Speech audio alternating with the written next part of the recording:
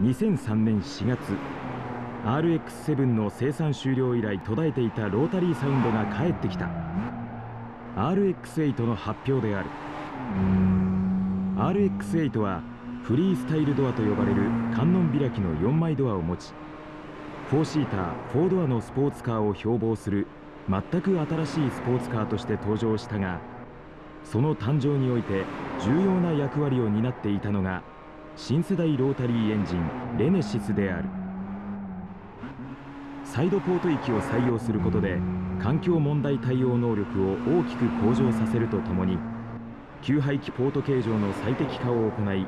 自然吸気の2ローターながら200馬力を大きく超える出力を実現。優れた環境性能と豊かなパワーとを両立した。軽量かつコンパクトというロータリーの利点にも一層磨きがかけられエンジン本体を RX7 比で 60mm も車体中央寄りへ搭載。完成モーメントの低減による優れた走行性能を実現した。またマツダらしく前後重量配分も50対50に近い理想的な数値となっている。最もホットなタイプ S は250馬力の最高出力と9000回転の最高回転数を許容するレネシスを搭載。トランスミッションは6速マニュアルのみの設定だ。